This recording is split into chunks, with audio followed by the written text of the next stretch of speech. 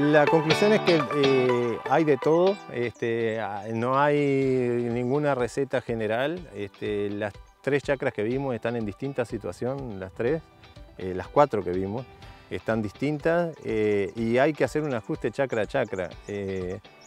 Hay cultivos que están muy sanos, que no tienen mancha foliar, que no tienen este, mancha marrón, entonces eh, apurarse con el fungicida no tiene sentido a menos que haya una detección de roya en el cultivo. Si no hay detección de roya y no hay enfermedad, no hay necesidad de intervenir con fungicida y, eso nos, va, nos puede condicionar a, tener que a quedarnos sin residualidad del, producto más tarde en el ciclo cuando tengamos más presión de inóculo del resto de las enfermedades, del roya y de mancha marrón. Entonces, no, apresurarse.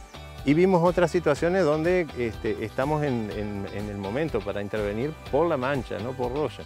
Entonces, este, y, bueno, y al aplicar para manchas se está también controlando roya o protegiendo en parte el cultivo por roya.